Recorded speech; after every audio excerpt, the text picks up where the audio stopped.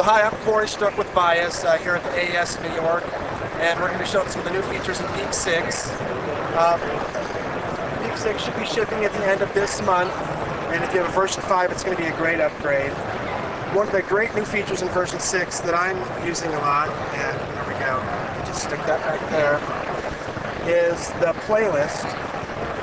Much like the old Peak 5 playlist, can open up files and uh, it's meant for CD mastering. A lot of people use it for editing together takes. Me being a, a mixing and mastering engineer, I use it a lot for mastering. So I'm going to take here a mix I have from Pro Tools, uh, split up song by song. I'm just going to add it in. Like with Peak 5, you can add in regions. And one of the great things you can do now is if you say you have a, a track with multiple regions in it, you can split it inside the playlist as you're making your songs. So there's no need to pull multiple regions in. So uh, a lot of people who are doing multiple mixes in Pro Tools in one session will like this. DJs who are recording their sessions and putting together uh, you know, a, a comp CD can use this. There it is. You can zoom in and let's say right here you're not happy with the way this is set up. I can use this to set the exact in point and out point to get it just right. I can tap to the next song, get everything set up right, so it makes it easy to put together your, your master CD. Like version 5, we have CD text in here. The nice version is it's going to be able to copy the name from the track, and you can edit all this information. Let's say that's fine. On the next one, I can copy from previous, copy from the region track. So this makes it an easy way to quickly put together a master CD in Peak. When you're done, just going to burn my disk, and it gives you options for a Redbook CD, and if you want the entire disk to submit to uh, CD frames or CD sector boundaries.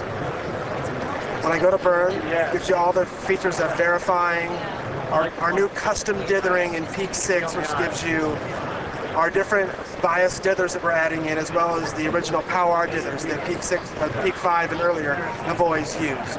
The, uh, the new DCAT dithering, or it's the dither cloning audio technology, is something new with version 6, and it gives you a way to uh, use dithers that are found in some other programs. And you can also customize it to your taste.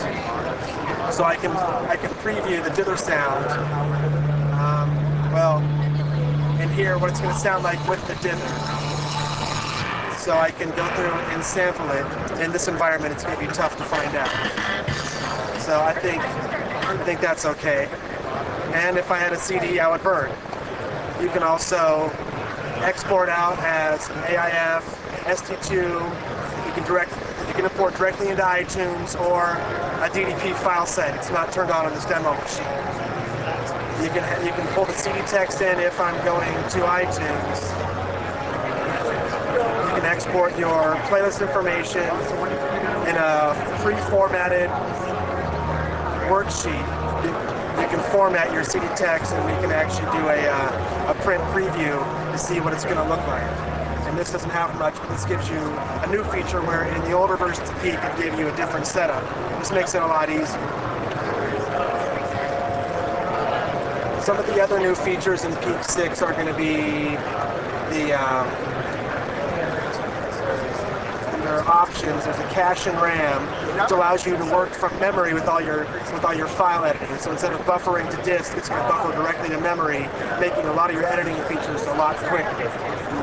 We've added another great new feature in Peak. Let me close this file out. For game designers and for sample editing, one of the great new features in Peak is our perpetual looping technology. So this is a, a female singing the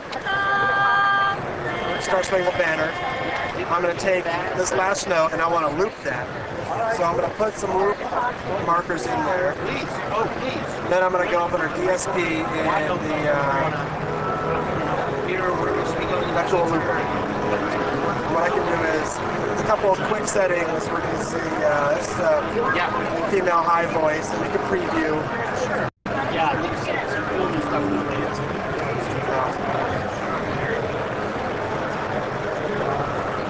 So under DSP, the perpetual looper, with a couple different settings.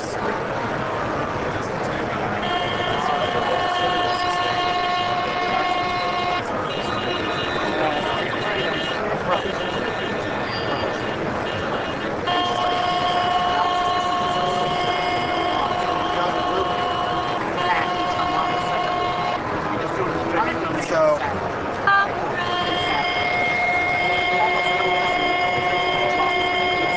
it's hard to hear in here. So before, when you have to, if you loop it, so you can use that to take other other files that are going to be difficult to loop and clean them up and make them so they have a better sound.